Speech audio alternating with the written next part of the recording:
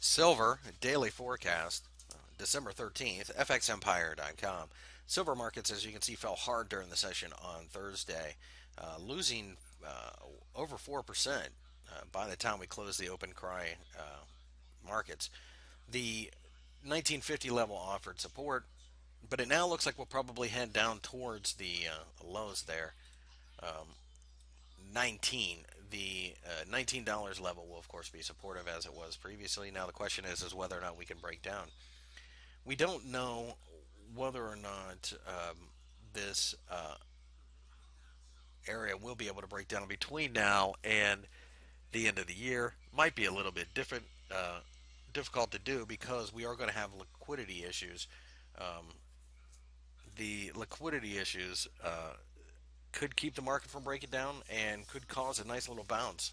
Um, at the end of the day, though, this is going to be based upon the U.S. dollar. Pay attention to the jobs numbers coming out of America.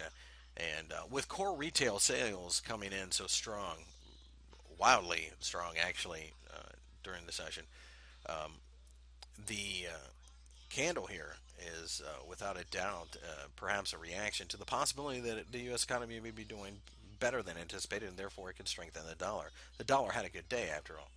Uh, we break down through 19, we really could be off to the races. But between now and the end of the year, I, I, I think we're probably more than likely going to see a little bit of a bounce from down near 19 and maybe consolidate for a little bit just due to a lack of liquidity. And really, at this point of the year, very few people are willing to put on a serious trade.